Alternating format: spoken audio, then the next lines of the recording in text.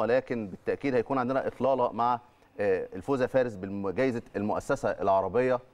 آه، جائزه مهمة دي الدورة ال11 جائزه محمد بن راشد آل مكتوم.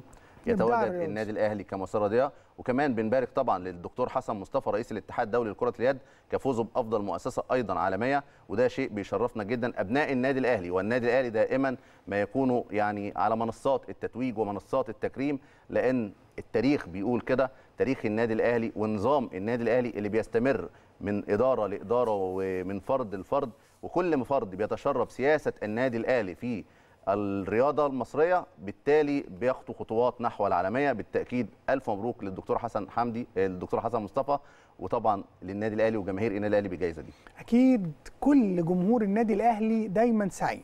جمهور النادي الأهلي آه، أنا بكون سعيد بفكرة اقتران اسمه بفكرة جائزه الإبداع لأن النادي الأهلي فعلا مبدع. النادي الأهلي مبدع النادي الأهلي خلاق النادي الأهلي دايما عنده مساحة استثنائية. بتشوفه هو اللي بيقود هو اللي دايما بيديك الأفكار في الكرة المصرية. دايما النادي الأهلي رائد في مجالات كتيرة جدا في الرياضة. يمكن المرة دي شركات الأهلي جزء كبير جدا من من النجاح ده. شركات النادي الأهلي خطوة كبيرة خطوة مؤسسية خطوة غير مسبوقة. النادي الأهلي يا جماعة يمكن أسامة بال- بال- بالمصادفة كان بيقول كابتن حسن حمدي كابتن حسن حمدي كان حلمه في شركة الكورة أيضا من سنوات. أنا أفتكر كابتن حسن حمدي كان يكلم البعض عن فكرة آه، شركة الكورة وقت ما كان في فوبيا من مصطلح فكرة شركات كرة القدم.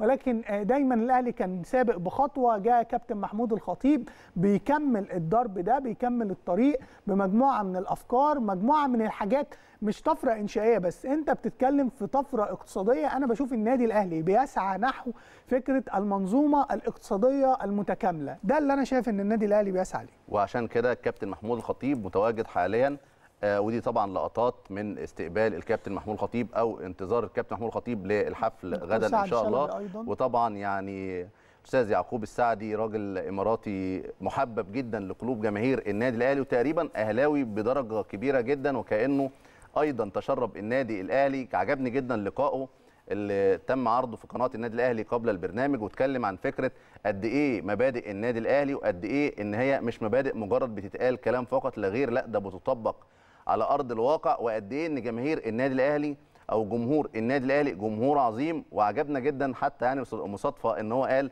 إن دايما بيقولوا الأهلي خط أحمر. وفعلا الأهلي خط أحمر فشيء طبعا يعني يدعو للفخر من قبل جماهير النادي الأهلي. يا فارس؟